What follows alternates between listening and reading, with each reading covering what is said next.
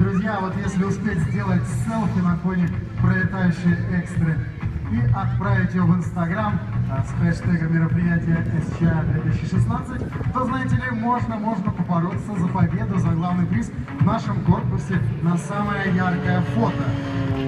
Все просто. Делайте фотографию себя любимого или счастливых людей, да, кого и чего угодно. Главное, чтобы это было связано с нашим сегодняшним праздником. Потом эту фотографию